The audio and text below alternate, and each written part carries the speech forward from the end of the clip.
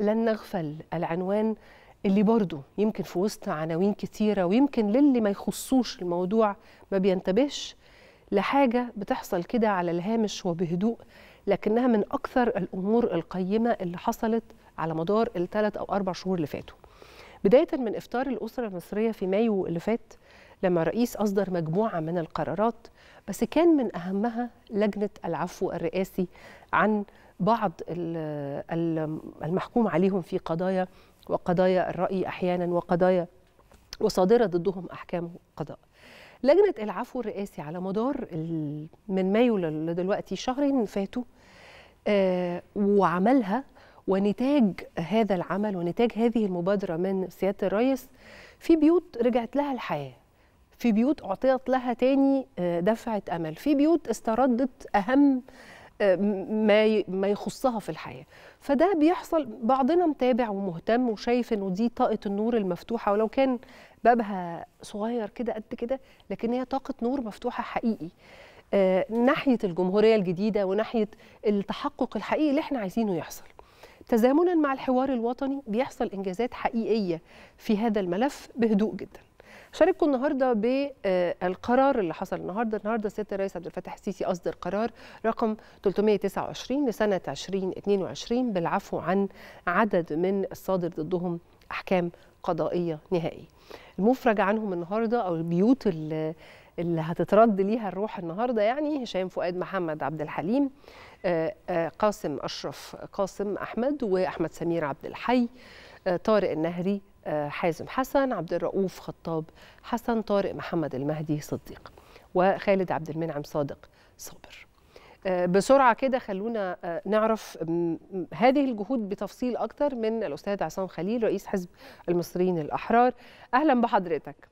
أهلا وسهلا دكتورة آه مهندس عصام إحنا يعني متابعين آه عفوا دكتور عصام آه متابعين مجهودات لجنة العفو ومجهودات العفو الرئاسي لكن بعض الناس بيختلط عليها الأمر ما بين العفو الرئاسي عن الصادر ضدهم أحكام قضائية والعفو عن بعض المحتجزين في قضايا أو على ذمة بعض القضايا. فضلك وضح لنا دور لجنة العفو حدود عملها بما لا يتعارض طبعا مع استقلال القضاء.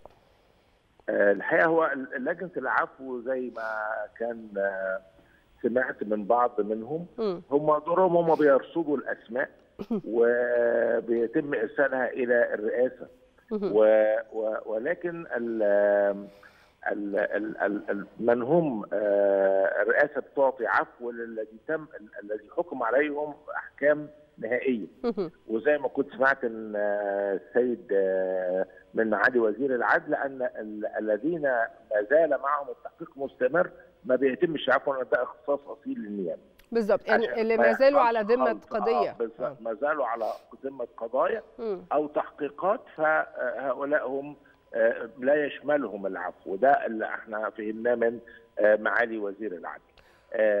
طبعا فكرة العفو الرئاسي وهو حق اصيل للقياده السياسية أو لفخامه الرئيس طبقا لمواد الدستور لكنها تعطي مؤشر. بتعطي مؤشر في اتساق مع مبدأ حقوق الإنسان. اتساق متصل في المفهوم الشامل والاستراتيجية الوطنية لحقوق الإنسان كما نفهمها مش كما تملى علينا. بالظبط. يعني يعني إحنا عايزين نحط ده في سياق متصل كده مع حقوق التعليم والصحة والحياة الكريمة.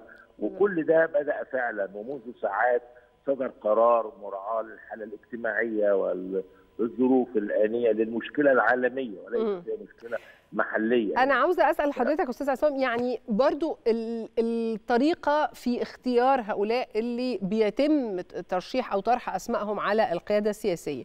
هل تكون القضايا المختصة بحرية الرأي والتعبير ولا أي نوع من أنواع القضايا بتدرسه لجنة العفو وبترى أن هي في وجاهة من أنه الشخص ده يعني ممكن يتم العفو عنه فبتعرضها على سيادة الرئيس؟ يعني أي نوع من القضايا. حسب برضو مع معلوماتي برضو أنا لست عضو في لجنة العفو. لأن في منهم بعض الأصدقاء لينا. لا هم بيدرسوا كل القضايا بدليل إن مثلا بيخرج بعض الغارمات في العفو بيخرج لا بيبقى أي في حالات إنسانية بتستوجب ده. لكن دكتورة دينا خليني آخد جزء بننظر بمشمول أكبر كلمة العفو. العفو يعني التسامح.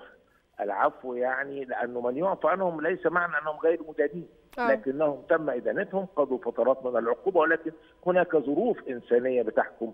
لابد من خروجهم ظروف عائلية ظروف م. صحية. ولكن اللي أنا عايز أنتهز الفرصة دي. آه وأقول إن إحنا في مرحلة العالم كله بيمر بأزمات. ولابد أن نكون متكاتفين. وأول العناصر الرئيسية اللي أنا بتمناها أن نكون مع بعض في المجتمع نعفو ونتسامح كل للآخر. ما يكون يعني نستطيع أن نقبل الآخر و بلاش التراشق في المجالات المختلفة. الحاجات اللي إحنا بنرصدها في المجتمع هذه الأيام. م. لأنه لابد أن نكون جميعا على قلب رجل واحد في هذا الوطن. للظروف. ليس اللي مش عايز أقول برضه بركز. م. علشان إحنا أحيانا في بعض الأبواق. بتتخذ الأزمة العالمية وبتعمل عليها فوكس وكما لو كانت هذه ازمه مصرية خالصه بل بالعكس أنا بنتهز الفرصة دي. بقول ان هناك دول كبرى وذو تاريخ عظيم واقتصادات مستقرة. في الأزمات اللي فاتت بدأت تعن وقيادتها السياسية أعلنت صراحة ان إحنا لن نستطيع أن نفعل لكم شيء. بالزبط. في كل الظروف ما نحن فيها ولكن القيادة السياسية الموجودة بتبذل كل كل قصارى جهدها. بالظبط وزي ما حضرتك بتقول آه اللي حضرتك بتشاور عليه ظرف اجتماعي أو رؤية اجتماعية أكتر ما هي حاجة مرتبطة بظرف اقتصادي مؤقت إن شاء الله وسيزول. إن شاء الله. أنا بشكرك شاء الله. أنا بشكرك يا فندم. شكرا جزيلا. الأستاذ عصام خليل رئيس حزب المصريين الأحرار. وأخبار العفو الرئاسي. دائما هي أخبار مفرحة. فتشوا عنها انحازوا ليها افرحوا لأنه حقيقي في حالة من المصالحة بتحصل مع قطاعات كانت غاضبة جدا كانت متألمة جدا وأسر متألمة جدا. أخبار العفو الرئاسي دايما أخبار مهمة.